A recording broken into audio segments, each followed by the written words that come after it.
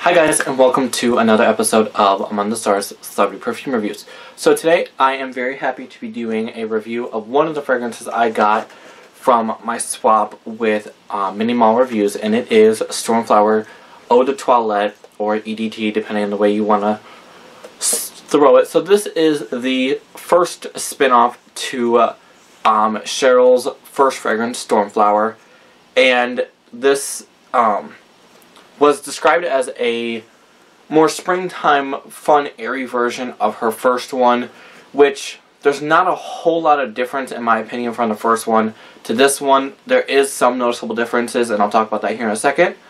But first, let's talk about the packaging. So, on the outside it says Stormflower by Cheryl, or just Stormflower Cheryl. Eau de Toilette, 50 milliliters, 1.69 fluid ounces. Um, and then you've got like the same kind of like uh, main color, and then you got like the gold. Um, you got like this gold trimming, which last time it was gold on the inside, and then it had like this dark purple blue trim all the way around. You have that same um, flower design that's on the side of the packaging.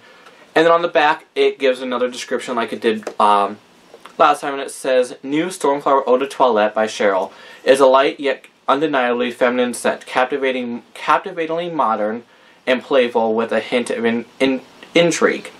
A bright citrus top notes combining lemon, sparkling lemon is, sparkling lemon, lost my point.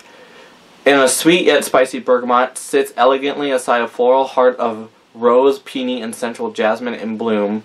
Warm and inviting base notes of central cedarwood, white musk, and indulgent vanilla to keep this unforgettably sophisticated and enchanting Stormflower eau de toilette. Um, so the cool thing about this was most of the, um, see what it said.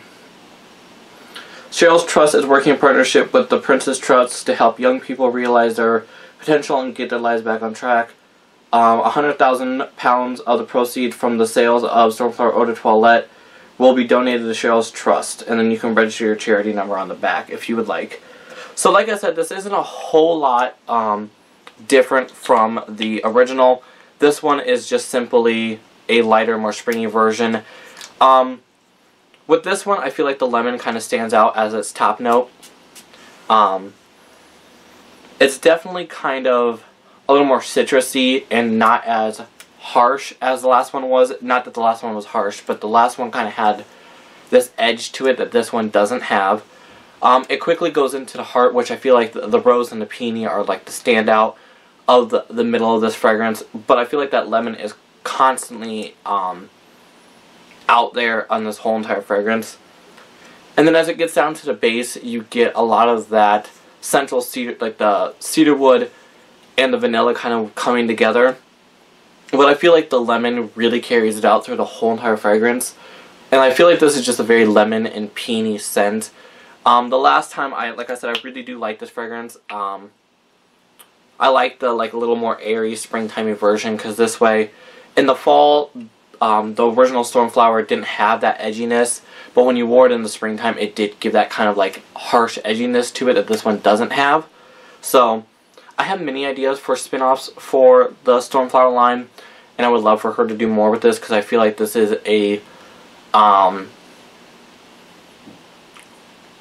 words I can't think of right now. This is a, a line that could be just like Britney Spears' fantasy line where there could be many, many spin-offs to it um, just because it is very um, open to what it could be.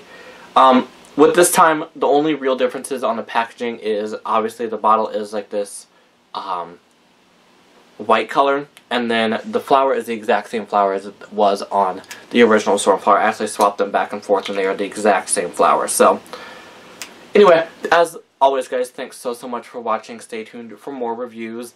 And as always, guys, follow me on Twitter, Ada S Perfume, and Instagram, Among the Stars Perfume. Links are in the description below. Have a great day. Bye.